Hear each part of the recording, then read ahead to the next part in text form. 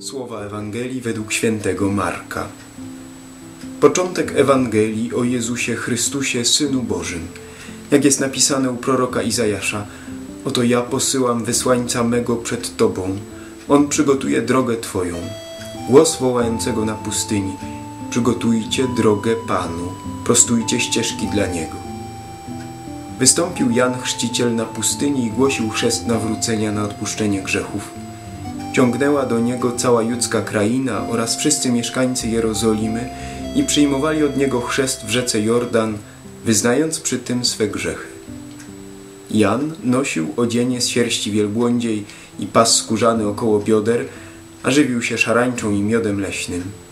I tak głosił, idzie za mną mocniejszy ode mnie, a ja nie jestem godzien, aby się schylić i rozwiązać rzemyk u jego sandałów. Ja chrzciłem was wodą, on zaś chrzcić was będzie Duchem Świętym. Warto zauważyć w dzisiejszej Ewangelii dwa paradoksy. Pierwszy z nich jest następujący. Jan Chrzciciel, wielki prorok, działa na pustyni. Prorocy mówili do Rzesz, zgodnie z wolą Bożą poszukiwali audytorium. Jonasz poszedł do Niniwy, która rozległa była na trzy dni drogi, a więc bardzo ogromna. Jeremiasz stał na dziedzińcu domu pańskiego i mówił do całego ludu, do wszystkich mieszkańców Jerozolimy. Podobnie Izajasz. Prorocy działali w miastach, głosili Boże słowa w skupiskach ludzkich, żeby ich słowa trafiały do rzesz. A tu prorok działa na pustyni. I rzecz dziwna, ludzie są. Tłumy przybywają z Jerozolimy, z całej judzkiej krainy. Tak jakby właściciel dobrze zaopatrzonej apteki, w której ceny leków są bardzo niskie, a porady prawie za pół darmo, zamiast otworzyć swój pawilon w centrum miasta, cały asortyment wywozi na peryferia i otwiera taki malutki sklepik. I ludzie specjalnie tam jadą, bo wiedzą, że dostaną odpowiednie lekarstwa, sprawiające nieomal cuda, i to jeszcze w atrakcyjnej cenie. A więc siła przyciągania nie zależy od warunków miejsca. Siła przyciągania zależy od atrakcyjności asortymentu, od towaru. Święty Jan pragnie nam dzisiaj udowodnić, że człowiek niekoniecznie idzie za tym, co dla niego wygodniejsze, co dla niego łatwiejsze. Przecież wyprawa na pustynię z ludnego miasta, gdzie wszystkiego było pod dostatkiem, po to, by słuchać w upale i pyle, na kamienistym podłożu, no daj, to wszystko do najprzyjemniejszych i najłatwiejszych nie należy. A tłumy są, bo wiedzą, że usłyszą coś wartościowego, coś, co zmieni y, ich życie, coś, co zmieni ich myślenie, wezwie ich do nawrócenia, bo oni są głodni słowa. Ludzie nie przyjdą do kościoła wtedy, kiedy wokół kościoła będzie parking, gdy kaplicę umieścimy w supermarkecie albo na lotnisku.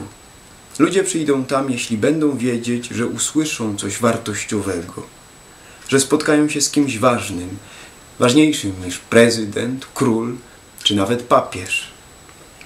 Przyjdą, jeśli słysząc Ewangelię będą wierzyć i przejmą się tym, co usłyszą. Że będą wiedzieć, że właśnie w tej chwili spotykają się z Bogiem, który rządzi całym światem. Jeśli to będą wiedzieć, to nawet ciężkie warunki miejsca nie przeszkodzą im w przyjściu, nie zniechęcą ich.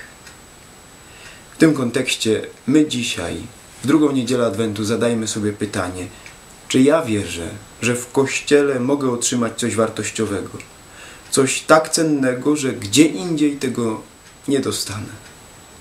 Czy ja wierzę, że właśnie w Kościele czeka na mnie szef wszystkich szefów, i jak się z nim nie spotkam, to mogę zatracić całe swoje życie. Święty Jan, chrzciciel, woła do nas dzisiaj: Człowieku, nie bądź głuchy. Jak już usłyszałeś, to przejmij się. Jak się przejąłeś, to rusz się. Przyjdź na rekolekcje adwentowe, przyjdź na roraty, przyjdź do spowiedzi, bo warto. Uwierz. Wykonaj ruch w stronę Pana Boga. Bóg nie poskąpi ci swego miłosierdzia, ale trzeba się wysilić. Trzeba wyjść na pustynię. Trzeba widzieć w tym wartość. To jest jeden paradoks. Pustynia, która jest pełna tłumów. A drugi paradoks dzisiejszej Ewangelii jest taki. Jan działa na pustyni, a jest tam woda. Przecież chrzci, zanurza ludzi w Jordanie. Jest pustynia, chociaż w pobliżu znajduje się woda.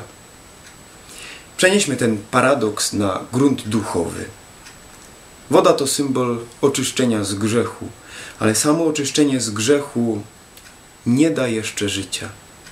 Nasza pustynia duchowa, chociaż dzięki wodzie chrztu albo wodzie łez w spowiedzi świętej y, będzie wolna od zła, to jednak ta nasza pustynia może nadal pozostać skąpo porośnięta. Tu powstaje pytanie, czym różni się chrzest głoszony przez Jana Chrzciciela od chrztu Chrystusa? Przecież się różni. Dzisiaj sam Jan o tym mówi. Jak ująć to prosto? Chrzest Jana, czyli ten chrzest z wody, oczyszcza tylko z grzechu. Dopiero chrzest Chrystusa, chrzest z Ducha Świętego, ten chrzest daje życie.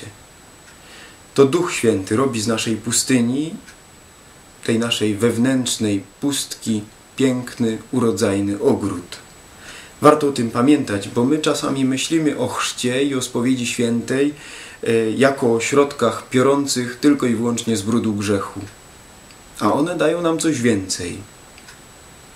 Dzięki Duchowi Świętemu, który zostaje nam dany w tych sakramentach, nosimy w sobie od chwili chrztu i spowiedzi ziemię obiecaną, urodzajny ogród. Nie możemy zapominać o Duchu Świętym, o Jego darach i owocach, bo znowu nam nic nie urośnie i znowu nic się w naszym życiu nie zmieni. Pustynia pozostanie pustynią. Pamiętajmy dzisiaj o tych dwóch paradoksach. O pustyni pełnej tłumów i pustyni, pomimo obecnej na niej wodzie.